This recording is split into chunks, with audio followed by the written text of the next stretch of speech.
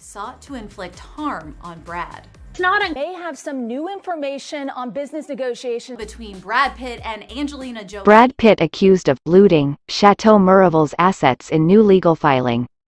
An ongoing legal dispute over a French estate and winery Brad Pitt and Angelina Jolie formerly owned together continues to escalate. In a new court filing obtained by CNN, Jolie's former investment company Nouvelle accuses Pitt and co-conspirators of attempting to retain control of Chateau Miraval by stripping and looting its assets.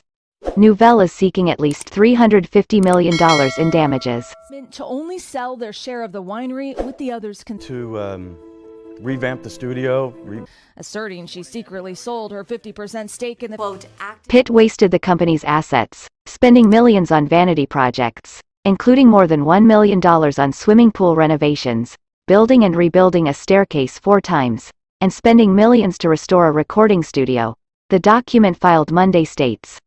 Attorneys for Nouvelle claim in the filing that Pitt's misconduct escalated after Jolie sold Nouvelle in October 2021 to Tenute Del Mondo, a subsidiary of Stoli Group, controlled by Russian oligarch Yuri Shefler.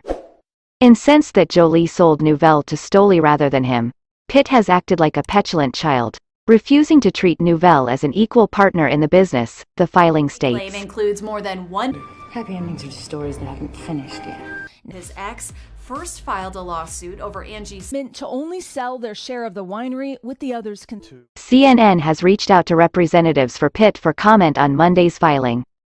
Pitt first filed a lawsuit over Jolie's sale of the estate and winery in February 2022, calling it unlawful because, he claims, the two had agreed when they purchased the property that neither would sell without the other's consent. Jolie filed a countersuit, claiming that there was never any such agreement and that she sold her portion of the winery in an effort to have financial independence from Pitt and to have some form of peace and closure to this deeply painful and traumatic chapter of her and their children's lives. The former couple purchased the country estate and winery in the south of France in 2008. That's how we present this content. Don't forget to like, comment, share and subscribe. For the support of our viewers, thank you. than one. Happy endings are just stories that haven't finished yet. His ex first filed a lawsuit over Angie's meant to only sell their share of the winery with the others con-